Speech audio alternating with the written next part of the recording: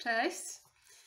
Y, Już jakiś czas nie nagrywałam żadnego filmiku, y, ale pomyślałam, że dobrą okazją do tego jest fakt, że została właśnie wydana książka, którą zresztą dosyć szeroko promujemy tutaj na Facebooku chociażby. I to jest książka e, Fundamenty Wiary Artura Cerońskiego. Ona jest y, oparta na właśnie wykładach, na nauczaniach, e, które są nagrane w internecie już od lat na YouTubie są dostępne, e, właśnie pod tą samą nazwą Fundamenty Wiary.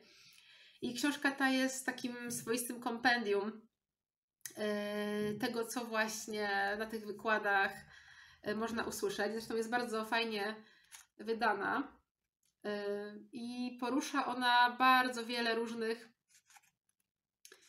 tematów, ale wszystkie te tematy są jakby oparte na Biblii, natomiast są oparte na, na właśnie nauczaniu apostolskim, e, na wielu latach doświadczenia e, Artura e, Ceruńskiego i mm, są, są to właśnie fundamenty. Teraz właśnie ta nazwa fundamenty, właśnie nie wiem, czy jest Wam do końca znana. Ja, będąc wiele lat osobą nawróconą, już 12, to nawet będzie ponad 12 lat. Byłam w różnych kościołach i zdaję sobie sprawę, że, że brakuje w chrześcijaństwie czegoś takiego jak fundamenty. Nawet nie jestem pewna, czy wcześniej o tym słowie słyszałam, choć jest to zdecydowanie słowo zaczerpnięte z Biblii. Fundamenty. I no, czym są fundamenty? No, każdy z nas może się domyślić, e, bo znamy to słowo e, z codziennego życia.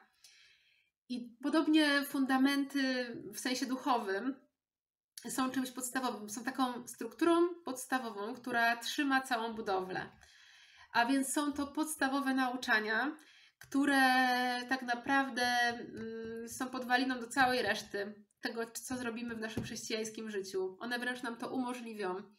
Umożliwią to, żeby nasza budowla się nie rozsypała, nie rozwaliła i ostatecznie, żeby przeszła próbę ogniową, kiedy kiedy staniemy na sądzie Chrystusowym ku nagrodom. Dlatego y, właśnie fundamenty, y, żeby jeszcze wyjaśnić, ludzie w kościołach, jak obserwuję, zwłaszcza w Polsce, ale nie tylko, mają ogromne zamieszanie co do wielu różnych podstawowych kwestii, niezależnie od tego, jak długo są wierzący. Oczywiście mają tą podstawę że zbawienie jest z łaski przez wiarę, mają jakieś tam nauczania, jednak te nauczania są y, na tyle różne i na tyle są one same w sobie mieszanką różnych rzeczy, mieszanką y, tego, co jest napisane w Biblii, jakiejś swojej interpretacji, swoich doświadczeń, y, które są nierzadko sprzeczne z tym, co jest w Biblii napisane, i później robi się, tworzy się taką hybrydę, taką mieszankę Y, która nie ma mocy w sobie, nie ma mocy, żeby ją zastosować w życiu i odnieść sukces.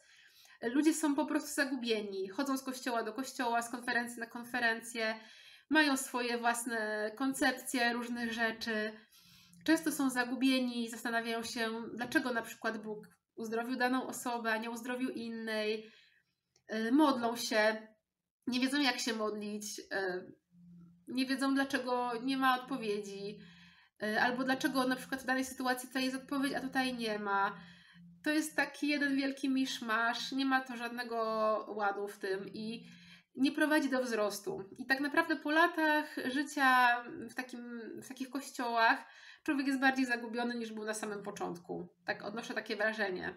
Jedyne, czego jest pewny, to zbawienia, a i tego często ludzie nie są pewni, bo to jest też jeden z fundamentów E, nieutracalność zbawienia, na czym polega nowe narodzenie. Więc tak naprawdę w najbardziej podstawowych podstawach jest to zamieszanie. Dlatego tak ważną rzeczą jest w ogóle znaleźć dobre nauczanie, nauczanie oparte na objawieniu, nauczanie w autorytecie, w autorytecie e, równym autorytetowi Jezusa, tak naprawdę, w którym Jezus nauczał nauczenie wypraktykowane w życiu osób, które są wzorcami takiego, tego, co sami uczą, i wprowadzanie y, nowych wzorców myślowych do swojego życia. Likwidowanie wszystkiego, co było chaotyczne, co było nieprawdziwe, nierzadko niezgodne y, z tym, co nauczał Jezus i wprowadzanie do swojego życia prawd stopniowo, krok po kroku, mm, żeby ten fundament właśnie był mocny, bo fundament to jest coś, co powoduje, że człowiek się nie chwieje, że jest stabilny, że w różnych sytuacjach y, wie, jak się odnaleźć, wie, jakby mm, w jakim kierunku iść. I można to osiągnąć, słuchajcie, to nie jest tak, że w życiu chrześcijańskim musi być chaos. Nie, nieprawda. Może być bardzo duży porządek i powinien być. I ja widzę to w moim życiu. Widzę, że tak właśnie się stało, że tak przez wiele lat y, nie byłam pewna tego, co, dlaczego, jak. Liczyłam na to, że w jakiś sposób Bóg mi pomoże, że no przecież jest ze mną, no to jakoś się wszystko ułoży. Nie miałam tego sprecyzowanego, w jaki sposób się to stanie, no, no ale trzeba zaufać Bogu przecież, wszystko będzie dobrze. Yy, ale patrzymy przecież i widzimy, że tak się wcale nie dzieje, że to nie jest tak, że Bóg przyjdzie i cudowny sposób wszystko zmieni i yy, to nie jest też to, że on zwleka albo że wybiera sobie, kiedy zadziałać. Absolutnie nie. Jednym z fundamentów, które nauczyłam się, które zmieniły moje życie, było to, że Bóg jest stały. Bóg. Nie ma względu na osobę. I to, co Bóg powiedział, to On zawsze za tym stoi. A tak naprawdę od nas zależy, czyli ode mnie osobiście w moim życiu, co ja z tym zrobię, jakie decyzje podejmę, czy nie pójdę na kompromis, czy zrobię rzeczy zgodne z tym, co, co mówił Jezus, co, co uwierzyłam. Yy, I czy nie, nie dam się z tego wyprzeć? Czy będę wierzyć w to, że On jest rzeczywiście ze mną w każdej decyzji, którą podejmę? Zauważyłam, że to przynosi ogromne efekty pozbyłam się bardzo wielu elementów zamieszania w moim życiu i chociażby przykładem na to jest ta cała sytuacja z COVID-em, kiedy, kiedy Kościół po prostu zwariował, mam wrażenie, w Polsce. Y, I ludzie naprawdę najróżniej zaczynali, zaczęli reagować na to. Y, naprawdę różne rowy tutaj się pojawiły, rów y, totalny jakiegoś takiego poddania się temu, co sanitarnemu reżimowi i w ogóle maseczki i unikajmy wspólnych spotkań, nawet nie dlatego, że się boimy mandatu, ale tak, tak będzie bezpieczniej, taka asekuracyjna postawa. Oczywiście mm, tym zasłania się brak wiary w ponadnaturalne, w ogóle ponadnaturalną ochronę Boga i to, że dziecko Boże nie jest zdominowane przez jakąkolwiek sytuację, żadną chorobę po drugiej stronie ludzie, którzy gdzieś właśnie konspiracyjne teorie wyznają, straszą końcem świata. No jakby różnie chrześcijanie się tutaj podzielili y, w tej kwestii.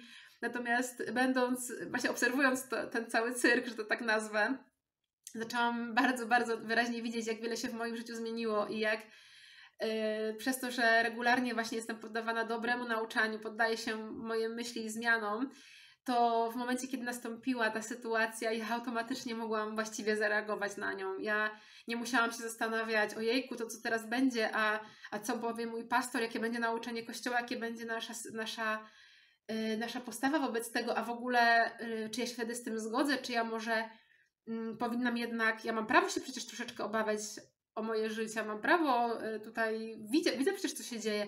To nie w ogóle te rzeczy jakby nie wchodziły w grę. Ja od razu wiedziałam, jakby jak zareagować na tę rzeczywistość. Mówię, nawet najpierw nie byłam pewna, czy ta choroba rzeczywiście jakby jest y, czymś groźnym, czy nie, ale już na, od początku wiedziałam, że ona mnie nie dotyczy, że ja się nie będę absolutnie tym przejmować. I to jest tylko przykład, y, ale pokazujący, jak wiele właśnie jest niedomówień, jak wiele jest, jest tego zamieszania i tego, że ludzie właśnie nie mają fundamentów, nie mają, nie mają podstaw.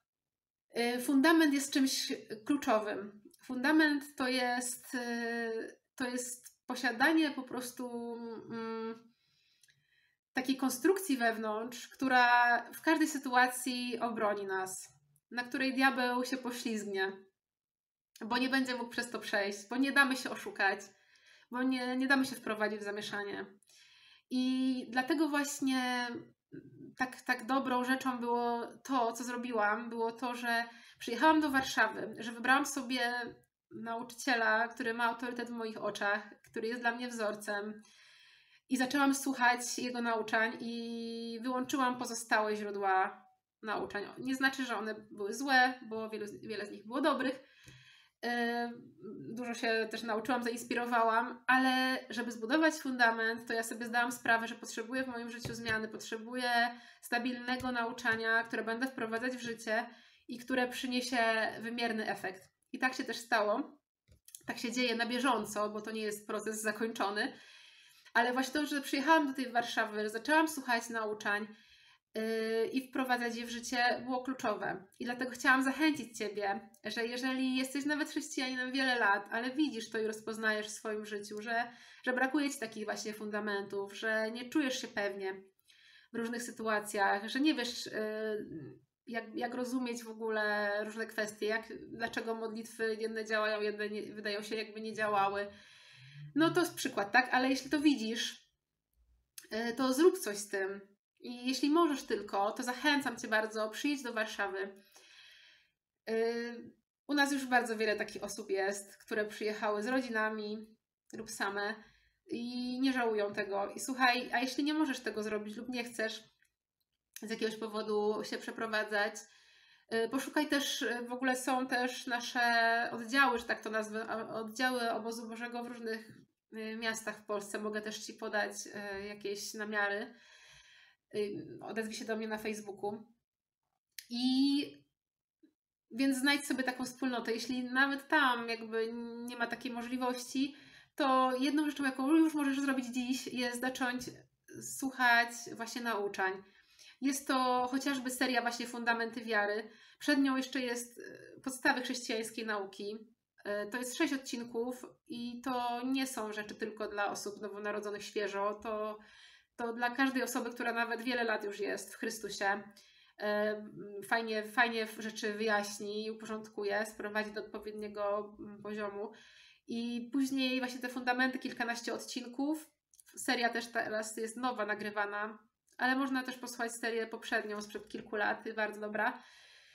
Później są warsztaty wiary, szkoła wiary, bo wiara w końcu jest podstawą tak, wszystkiego, żebyśmy umieli właśnie ją używać, żebyśmy e, no, wiedzieli, jak żyć wiarą. E, później są inne wykłady jeszcze z łaski przez wiarę.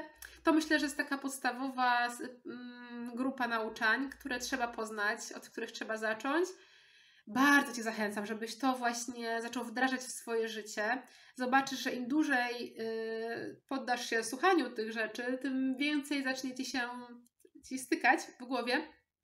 Zaczniesz więcej y, być zachęcony, żeby rzeczywiście tak żyć i y, automatycznie Twoje życie się podniesie na inny poziom.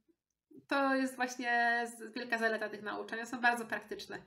Więc żeby już nie przedłużać, to właśnie to chciałam przekazać. I mam nadzieję, że, że właśnie weźmiesz sobie to do serca i no właśnie jeszcze dobrych, dobrych decyzji, dobrych zmian w życiu, bo one są naprawdę w zasięgu ręki. Bóg jest dobry, ale człowiek musi wykonać pewną pracę, bo same rzeczy się naprawdę nie będą działy. Więc wszystkiego dobrego, jeszcze miłego dnia, do usłyszenia.